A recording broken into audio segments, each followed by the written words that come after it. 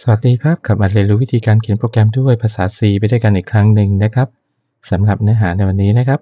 เราลองมาแก้โจทย์แบบนี้ดูนะครับว่า ถ้าเรามีโจทย์ว่าเราต้องการให้ผู้ใช้นะครับ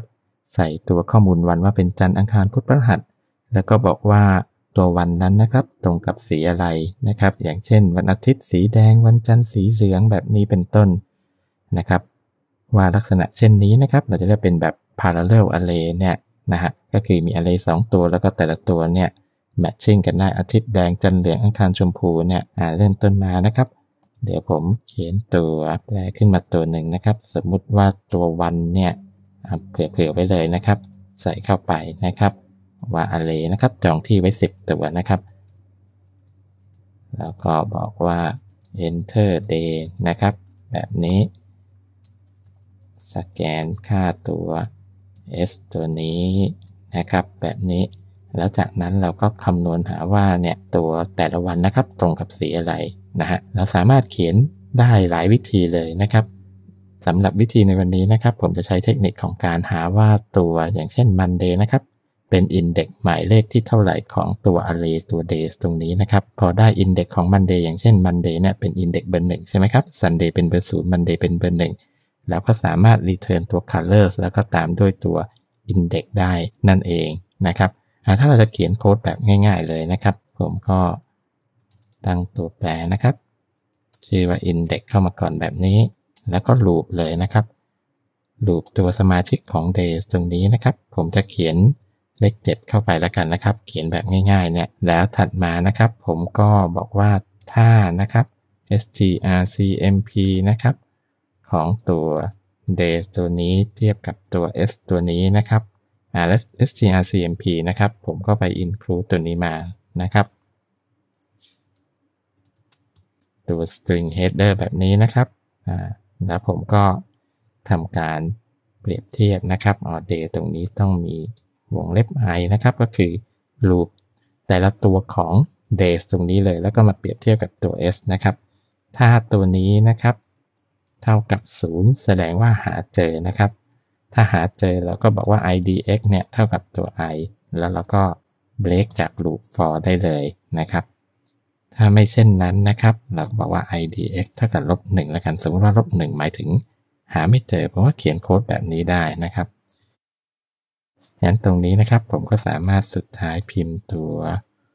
นี้ออกมาได้นะครับว่าเป็น color ของตัว idx แบบนี้ ลองดูนะครับ สั่งรันดู enter day สมมุติว่าวันจันทร์แล้วกันนะครับ เห็นไหมครับ ก็จะโชว์สีเหลืองออกมาดันดูอีกนะครับ วันศุกร์แล้วกันนะครับ เห็นไหมครับศุกร์สีฟ้าแบบนี้จริงๆแล้วเขาตรงนี้นะครับ ถ้าจะเขียนให้ดีกว่านี้นะครับ ตอนเปรียบเทียบเนี่ย เราจะเปรียบเทียบแบบ case insensitive ดีกว่านะครับ เพราะว่าอะไรครับ เพราะตรงนี้ถ้ารันนะครับ ผมบอกว่า Monday เนี่ยจะพิมพ์เป็นตัว m ตัวเล็กนะครับทั้งที่ใน array ของเราตรงนี้เป็นตัวใหญ่ลองดูนะครับ ว่าจะเกิดอะไรขึ้นนะครับกด enter เห็นไหมครับ มันไม่พิมพ์อะไรออกมาเลยนะครับ เพราะว่าตัวนี้นะครับสิ่งที่มันหาไม่เจอนะครับ index เป็นลบหนึ่งผ่านค่า index ลบหนึ่งเข้าไปใน color ตรงนี้นะเป็น error นะครับ จริงๆแล้วถ้าจะเขียนให้ดีกว่านั้นนะครับ ผมก็บอกว่า if idx นะครับมากกว่าเท่ากับ 0 คือหาเจอ แล้วเราก็ค่อยพิมพ์ตัวนี้ดีกว่า ไม่เช่นนั้นนะครับเราก็พิมพ์ว่า not file แบบนี้นะแล้วตรงนี้นะครับ ถ้าจะแก้นะครับ string compare นะครับ อีกอันหนึ่งเราพิมพ์กับว่า case เข้าไปแบบนี้นะครับ str case compare ตัวนี้จะเป็นตัวเปรียบเทียบแบบที่ไม่สนใจว่าเป็นตัวใหญ่ตัวเล็กนะครับ ก็คือถือว่าเหมือนกันอย่างเช่นพิมพ์ mon แบบนี้ หรือว่าจะพิมพ์เป็น m ตัวใหญ่เนี่ยเหมือนกันอ่าลองดูนะครับรันใหม่ พิมพ์ mon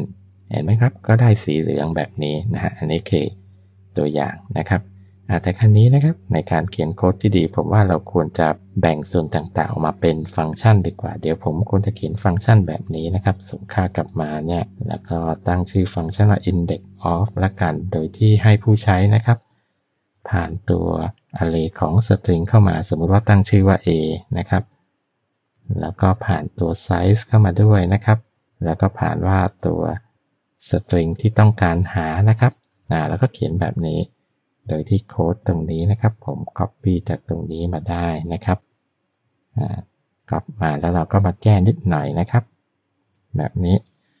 ตรงนี้นะครับ0ถึง 7 ตรงนี้ก็เปลี่ยนเป็นตัวแปร s ตรงนี้ คือตรงนี้นะครับ ถ้าเราเขียนเป็นฟังก์ชันที่มีการผ่านตัว array เข้ามานะครับ เราจะต้องผ่านตัวจำนวนสมาชิก array เข้ามาด้วยนะครับ เพื่อที่ว่า loop ตรงนี้ของเราจะสามารถ วนหาได้นะครับ แล้วตัว days ตรงนี้นะครับก็คือตัว a นะครับ ในตัว argument หรือ parameter ที่เราผ่านเข้ามาส่วนตัว s ผมใช้เหมือนกันอ่าเป็นแบบนี้งั้นถ้าตรงนี้หาได้นะครับโค้ดของเราก็น่าจะเป็นแบบนี้ได้เลยก็คือ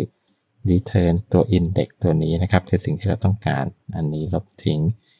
แล้วส่วนตัวนี้นะครับ ย้ายลงมาตรงนี้ว่าถ้าหา จนจบครบทุกตัวในลูปแล้วไม่เจอเราก็ return เป็นตัวลบ 1 ออกไปอ่าดูนะครับ ถ้าผมเขียนแบบนี้เนี่ย อันนี้ก็เป็นฟังก์ชันสำหรับหา index สมาชิกนะฮะ แล้วตรงนี้ผมก็มาคอมเมนต์ไปนะครับ เรามาใช้เป็นแบบฟังก์ชันนะครับ แล้วก็บอกตรงนี้เป็น index of แล้วก็ผ่านค่าตัวตัวนี้เข้าไปนะครับ ตัวแปรเนี่ย คือตัว days ตรงนี้นะครับ แล้วก็บอกว่ามีสมาชิกเท่าไหร่นะครับ ผมเขียนแบบนี้แล้วกันนะครับ ใช้ฟังก์ชัน size of นะครับ เพื่อหาว่าตัว array ตรงนี้นะครับ days เนี่ยมีสมาชิกกี่ตัว ผมก็เขียนแบบนี้นะครับแบบนี้แล้วก็ผ่านค่าอีกตัวหนึ่งเข้าไปก็คือตัว